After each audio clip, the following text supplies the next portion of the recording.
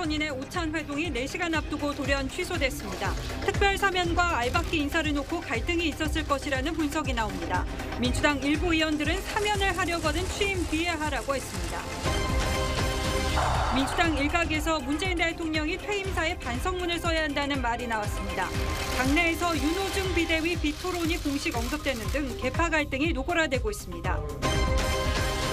북한이 대선 이후 처음으로 미사일을 발사했지만 실패했습니다. 발사체는 최근 두 차례 ICBM 성능 시험 발사가 이뤄졌던 평양 순안에서 발사됐습니다.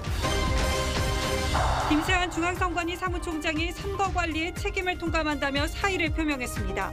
아들 특혜 의혹에 대해서는 언급하지 않았습니다. 키이우에 35시간 통행 금지령이 내려졌습니다.